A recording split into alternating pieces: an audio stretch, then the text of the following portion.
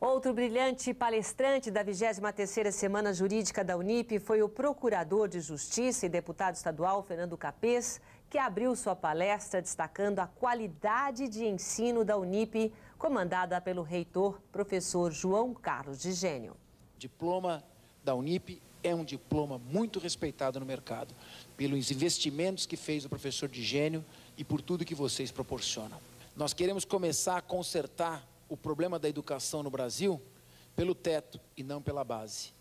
O professor de gênio começou nos idos dos anos 70 com o curso objetivo.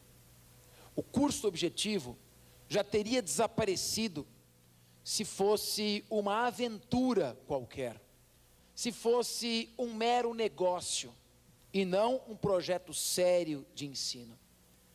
O curso objetivo continuou sendo um dos mais conceituados transformou-se no colégio objetivo. E depois de consolidado o colégio, de consolidado o curso de preparação, veio a Universidade Paulista, a Unip. Nada que é feito sem estrutura para em pé. Se o professor de gênio quisesse, ele não precisaria mais estar com a universidade, porque o que dá dinheiro é investimento em gado, não é em educação.